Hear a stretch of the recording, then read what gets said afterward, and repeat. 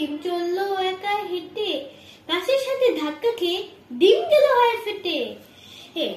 গায়ের মানুষ একসাথে সব সবাই ভয় হিম হিম, ডিম ফেটে যা বের হলো তার হাত